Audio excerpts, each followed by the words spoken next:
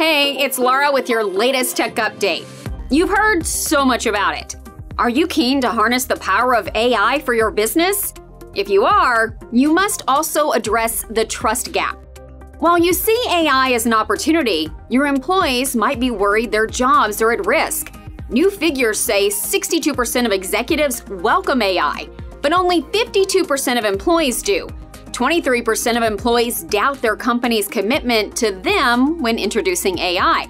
And 70% of leaders believe that AI should work alongside humans, not replace them. How do you bridge this gap? Start with conversations about why AI is a friend and not a foe. Invest in training to demonstrate how it can make people's roles more interesting. And involve your employees in the implementation. AI isn't a threat to job security, it's a tool for growth and innovation.